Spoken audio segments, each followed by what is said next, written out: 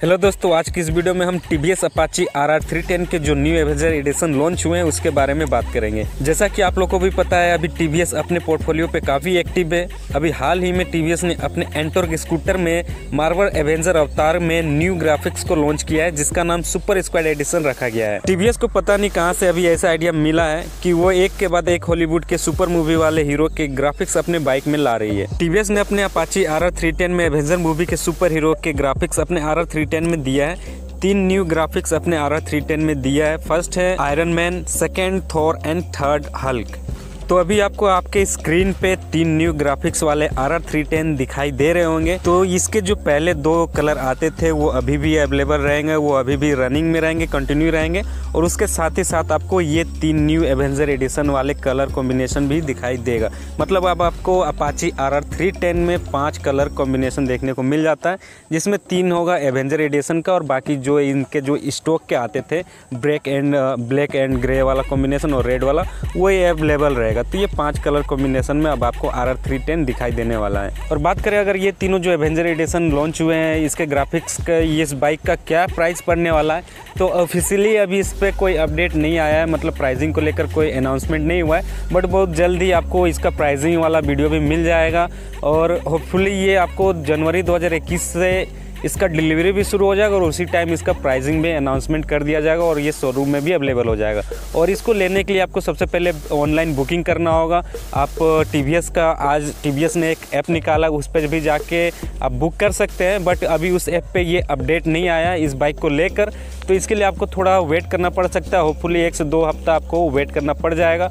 तो बाकी सारा जो इसके बाइक रिलेटेड डिटेल्स है वो आ जाएँगे। अभी फ़िलहाल इसका कलर्स कॉम्बिनेशन का ही अपडेट मिला है। प्राइसिंग और इसका जो डिलीवरी है, उस पर कोई अपडेट नहीं मिला है। पर जहाँ तक उम्मीद ये लगाया जा रहा है, ये जनवरी 2021 से सारा चीज़ इसका अवेलेबल हो जाएगा। तो आप भी अगर आर आर थ्री टेन के फ़ैन हैं और एवेंजर एडिशन के भी फ़ैन हैं तो अगर आप इस बाइक को लेना चाहते हैं तो आप कुछ दिन वेट कर लीजिए। वेट करने के बाद आपको नए साल में 2021 में, जनवरी में आप इस बाइक को ले सकते हैं। और जहाँ तक मेरा मानना है, इसका प्राइसिंग जो है, वो तीन से पाँच हज़ार के अंदर ही रहेगा। मतलब जो अभी प्राइसिंग है और उसमें जो न्यू अगर ग्राफिक्स वाला लॉन्च होता है तो वो तीन से पाँच हज़ार ही ज़्यादा लगेगा। इससे ज़्यादा शायद ही आपका लगे तो मानकर आप एस्टिमेट यही बनाकर चलिए कि पाँच हज़ार तक एक्स्ट्रा लग सकता है, जो ये न्यू थीम वाला ग्राफिक्स आपको आर आर थ्री टेन में देखने को मिलने वाला है। तो आप लोगों को इन तीनों ग्राफिक्स में से कौन सा ग्राफिक्स बेस्ट लगा, कौन सा अच्छा लगा है, आप लोग मुझे कमेंट करके ज़रूर बताइएगा।